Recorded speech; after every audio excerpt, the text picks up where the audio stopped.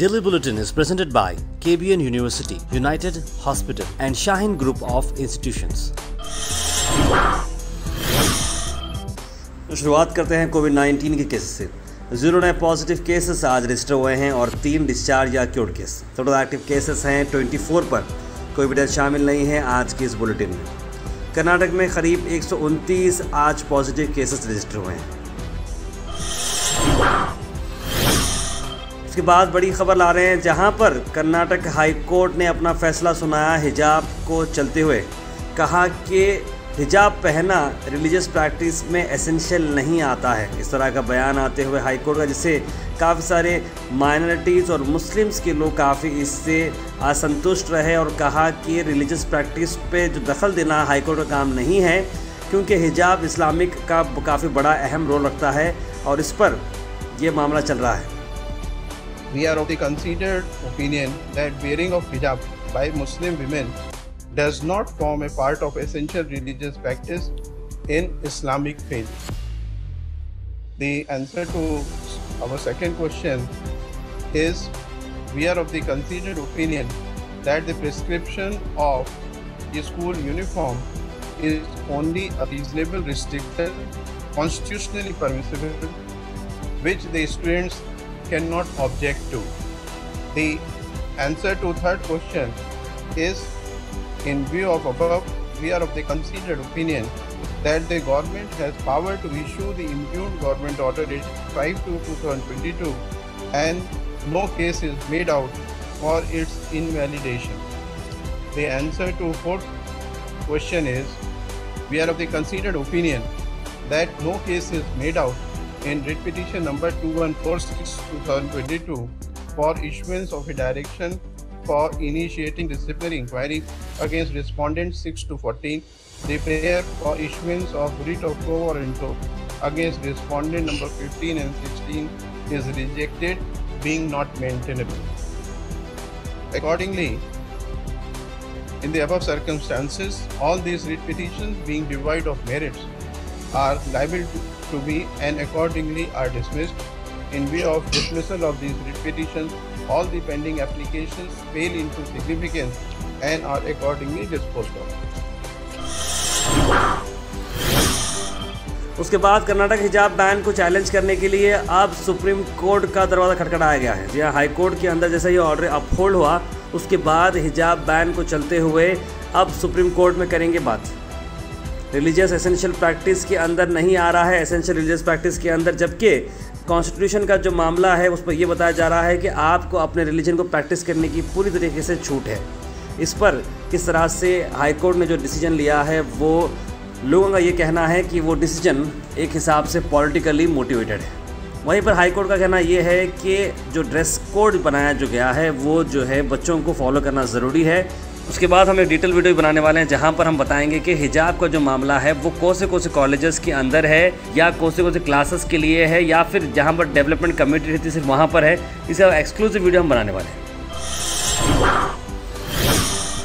गुलबर्गा शहर के अंदर भी आज deputy commissioner of police Shri Adul Srinivas ने गुलबर्गा शहर भर में राउंड्स लिए on the direction of doctor Y S Ravi Kumar commissioner of police ji हाँ हिजाब को चलते हुए कोई गड़बड़ ना हो, ना ही कोई प्रोटेस्ट हो, ना ही कोई सेलिब्रेशन हो या कोई ऐसा कोई मामला हो, उसको चलते हुए गुलबर्गा सिटी पुलिस काफ़ी स्ट्रिक्ट मेजर्स ले रही थी।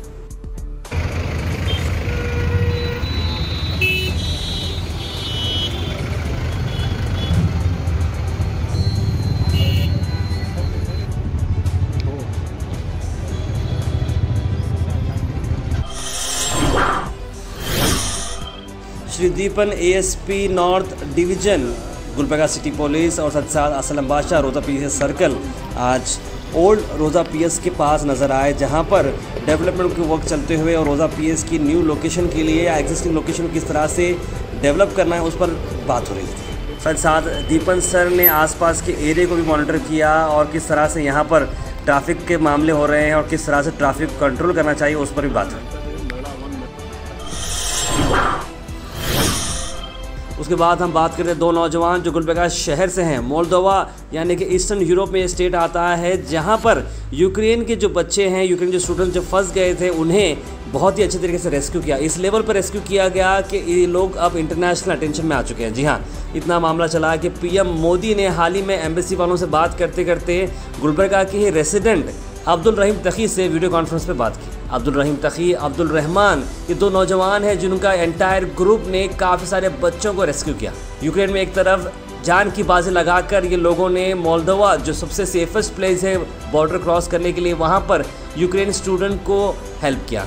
और इंडिया को माइग्रेट करने में शुरुआत में गवर्नमेंट की सपोर्ट नहीं मिलने के बावजूद भी इन लोगों ने कई दिन बॉर्डर पर रहे, वहाँ पर खाना, पीना और रहना सारी को बंदोबस्त किया और ये टीम काफ़ी एक्टिवली काम की इतना ही नहीं, जब एम्बेसी का सपोर्ट मिलना शुरू हुआ तो रास्ते और खुलते गए और ये बच्चों ने बहुत ही अच्छे तरीके से सभी बच्चों को बॉर्डर क्रॉस किया और अब कई सारे बच्चे अपने अपने घरों पर हैं। गुहाश टीम अब्दुल रहमान और अब्दुल रहीम तकीक दोनों के जज्बे को सलाम करती है और उनकी एंटायर टीम जो ये रेस्क्यू ऑपरेशन में मदद कर रही है, उन सबको हमारी तरफ़ से एक big salute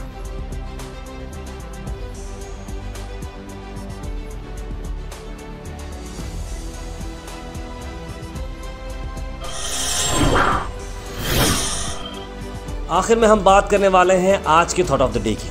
thought of the day को स्पॉन्सर्ड किया है मनियार इंटीरियर मॉल में। जहाँ मनियार इंटीरियर मॉल अब जो एक नई लोकेशन पर आ चुका है स्टेशन रोड पर, जहाँ पर आपको सभी आपकी इंटीरियर की ज़रूरत पूरी होते हैं। आज का थॉट ऑफ़ द डे है। Sometimes we are tested not to show our weakness but to discover our strengths यानी कि कभी कभार हमें टेस्ट किया जाता है इस पर अपने वीकनेस हम समझते हैं कि हमारे वीकनेस बाहर आ रहे हैं। लेकिन ये बात आप याद रखें, यही मौका है जहाँ पर आप अपने स्ट्रेंथ्स को भी डिस्कवर कर सकते हैं। इसलिए अगली बार परेशान हो तो आप इसे अपनी कमज़ोरी ना समझें और इसका रास्ता निकालने की कोशिश करें ताकि आप अपने स्ट्रेंथ को डिस्कवर करें।